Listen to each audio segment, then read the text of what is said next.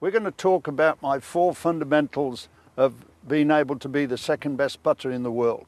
Fundamental number one is the fact that the blade needs to be square to the target at both the address and strike position. So many people tend to address the ball with the blade open and expect to hit it on line. I'm sorry, but those guys do not put well under pressure. Just make a good strike now, Phil, and go through that putt, like so. The second fundamental is the importance of keeping the blade square through the path of the stroke through the hitting area. In other words, if he keeps that blade square through to line number two, he will achieve that strike on the ball with no side spin. The third fundamental is the importance of striking that ball with a slight upstroke but I do not mean an upstroke like this. I mean an upstroke like this. Now then, if you visualize rolling a rubber tire across the yard, how would you strike that tire? Like so.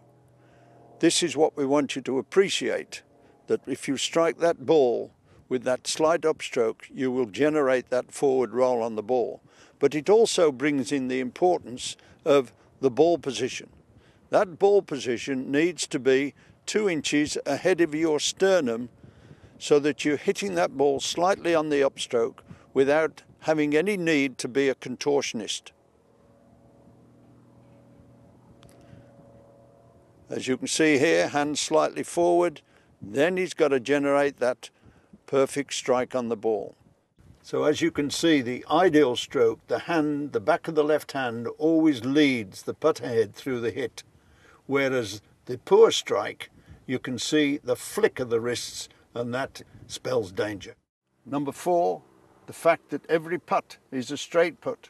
One needs to learn to strike that ball with that smooth acceleration so that you can control the speed of your ball so that it takes the break that you've read in the putt.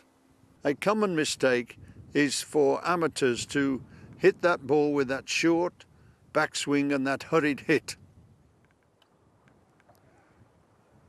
Or that long backstroke and that deceleration. That's all it takes.